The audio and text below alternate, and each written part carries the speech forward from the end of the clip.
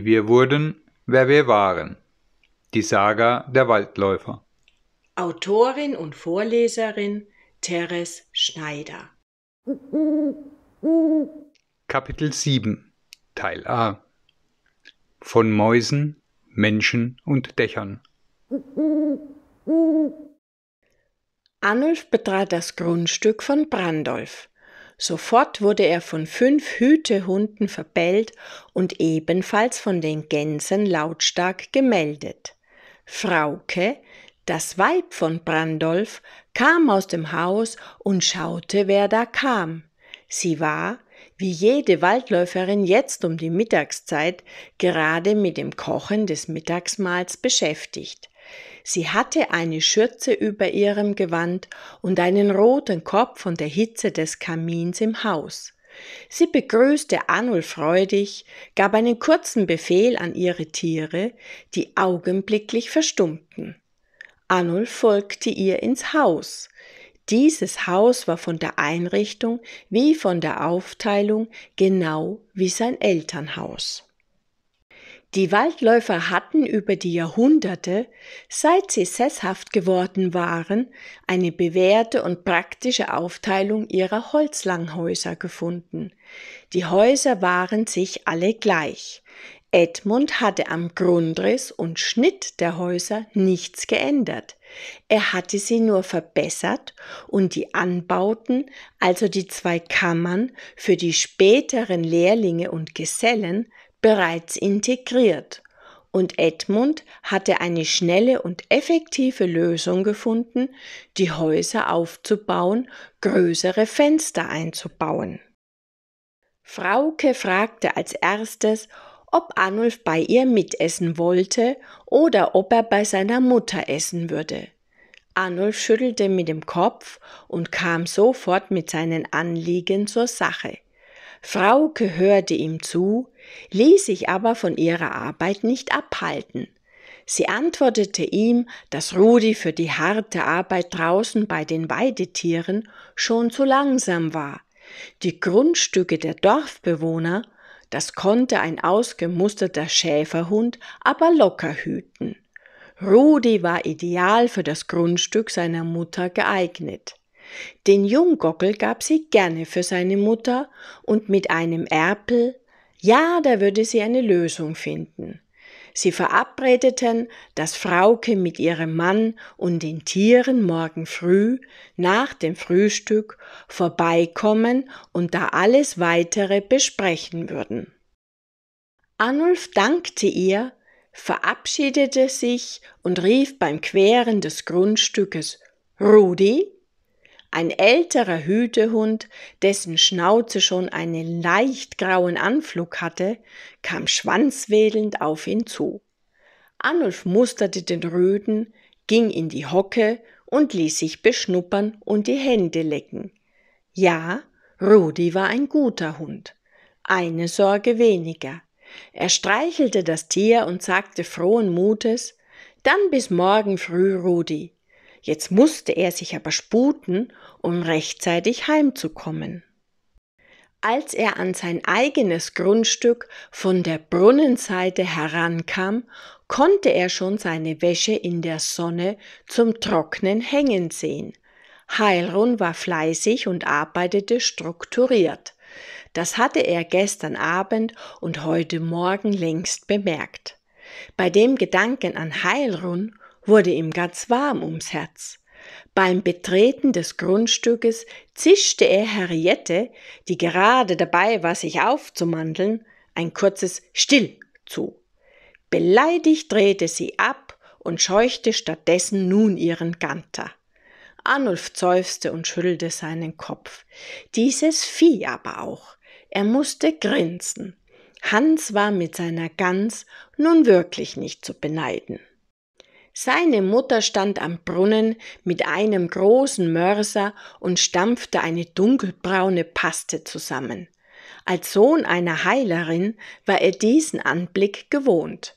Er nickte seiner Mutter kurz zu und fand Heilrun in dem gleichen Zustand im Haus vor wie eben Frauke. Er lächelte sie an und grüßte sie. Sie richtete sich auf, wischte sich mit dem Handrücken ein paar Haarsträhnen aus der Stirn und strahlte ihn an. Anulf gab es einen Stich im Herz. Sie war mit ihren roten Wangen, der leicht aus der Fassung geratenen Frisur und der verrutschten Schürze ein reizvoller, rührender Anblick. Er fragte sie, ob er noch Zeit hätte, auf den Dachboden zu steigen oder ob er stattdessen lieber den Tisch decken sollte. Heilrun schüttelte den Kopf und sagte, Nein, für den Dachboden reicht es nicht mehr aus. Ja, das wäre schön, wenn du den Tisch deckst. Geht es schon draußen? Anulf strahlte. Endlich eine Frau, der es nicht zu viel war, wenn sie draußen essen würden. So wie sich die Häuser im Inneren glichen, so waren die Gärten auch recht ähnlich. Es gab bei jedem Haus auch einen Sitzbereich im Außen mit der Möglichkeit, auch draußen zu kochen und zu grillen. Sobald die Temperaturen erträglich waren und es nicht regnete, hielten sich die Waldläufer im Freien auf. Arnulf antwortete Ich schaue es mir an. Habt ihr die letzten Tage schon draußen gesessen? Nein, noch nicht. Da ist alles noch so wie vor dem Winter hergerichtet. Gut, dann kümmere ich mich. Heilrun nickte ihm bei seinen Worten zu und freute sich insgeheim. Er kümmerte sich. Wie schön. Dann musste sie nicht die schweren Bänke und Hocker umeinander heben, unter dem Tisch kehren und alles so herrichten, dass die Freiluftsaison eröffnet werden konnte. Danke, Anulf. Anulf, der gerade dabei war, sich mit Besen und einem Hordern auszurüsten, stutzte kurz. Er lauschte ihrem Danke, Anulf nach. Wie schön sich das anhörte und anfühlte. Er sah noch einmal zu ihr hin. Sie lächelte ihn an, wurde leicht verlegen und senkte ihren Blick, um sich wieder ihrer Arbeit zu widmen. Anulf atmete auf und es war ihm, als würde sich dieser Augenblick in sein Gedächtnis einbrennen. Er erwiderte ein Bitte und ging mit entschlossenen Schritten hinaus, um mit seinen Besen sämtlichen Spinnenweben, Staubflusen, Laubnestern und noch im Halbwinterschlaf befindlichen Getier Herr zu werden. Gwendolin zog die Brauen nach oben, als sie ihren Sohn mit einem Besen und Hordern und einem verzückten Lächeln im Gesicht aus dem Haus schreiten sah. Ihr Herz tat einen Sprung. Ihr gingen so viele Gedanken auf einmal durch den Kopf. Da war ihr Wunsch, Annulf möge endlich eine Gefährtin finden. Dann, dass sie damals als einzige Heilerin im Dorf mit drei Kindern als Mutter, Hausfrau und Eheweib öfters all ihren vielen Aufgaben nicht gerecht geworden war. Das Familienleben hatte oft unter ihrer Berufung als Heilerin gelitten.